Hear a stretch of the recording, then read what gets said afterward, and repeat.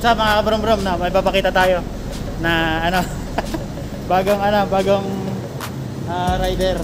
Yan, bagong convert. Papakita natin yung makina na ginamit kung ano ba yung makina na ginamit niya. Andito pala tayo sa ano sa Rusi branch ng Santo Tomas. Yan. Papakita natin sa inyo yung kakaiba na kinonvert na makina ng rider na binalda nila. Yan. Ah, tingnan nyo. Guys, ito yung ah, rider na ginawa nila. Makikita nyo. Yung makina niya. yung makina niya pang ano, pang Rossi. Oh my God! Wow!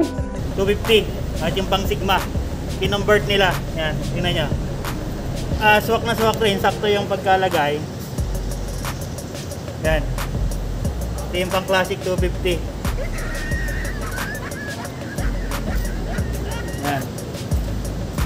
Ang, ang, brands daw nito ano?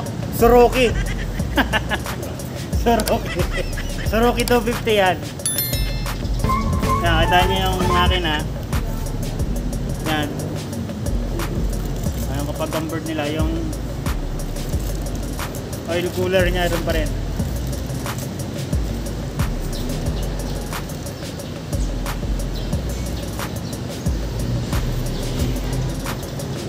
Sabi nila mabilis lang daw eh.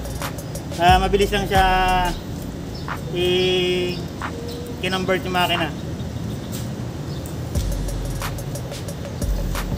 Lakas daw, malakas kasi ah, makita na natin yung makina ng nung inilagay pang 250 na. Makita niyo yan ah. Full full yung frame ng ano ng rider Ah, parang tayula rin ng ano. Parang tayula rin ng makina ng rider. Yung pang ah, yung makina na pala ito pang classic 250 at pang Sigma. Yan. Same lang yan. No? Suabe, suabe. Yan na.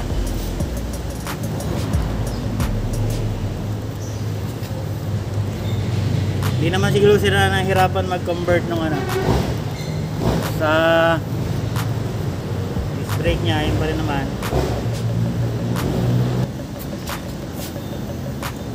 Yan guys, bali ang nabago lang dito talaga yung makina. Makina lang pinalta nila.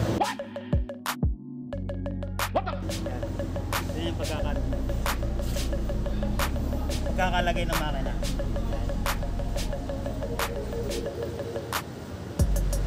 Siguro yung old uh, makina ng classic, yung hindi pa Euro 3, makikita niya. Stop it. Get some help. Hindi pa siya Euro 3.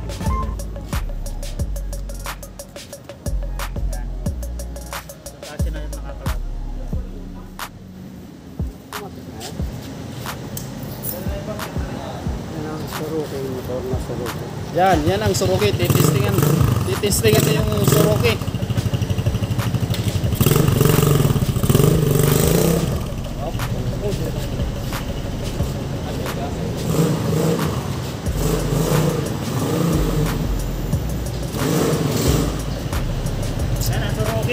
Yan, Suzuki yan. Hmm. No.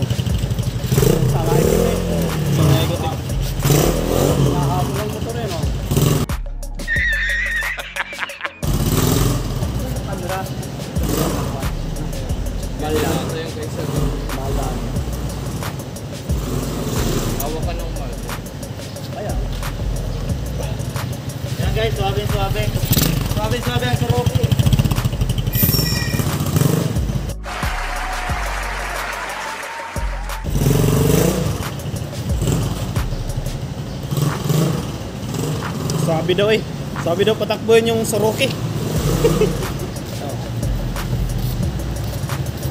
Yan, malakas, malakas yung makina niya. Kasi pang 250 siya eh.